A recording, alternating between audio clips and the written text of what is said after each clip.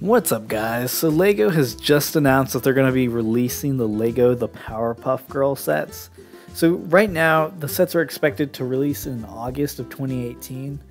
We don't really have any images, really. We have images of what the minifigures will look like. So, you have Buttercup, Bubbles, and Blossom, as you have the green, blue, and pink. But right now, there hasn't been any sets that have been revealed, but there has been two names that have been rumored that come out this August. So the first set we have is Bubbles Playground Showdown. So you can assume that will probably be the playground with Bubbles in it. The next set is Mojo Jojo Strike. So we'll have a minifigure of Mojo Jojo, and I am interested to see how this theme plays out. But so let me know what you guys think in the comments below. What you think about Lego adding the Lego Powerpuff Girls as a theme.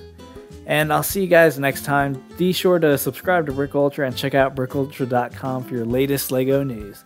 I'll see you guys next time and peace.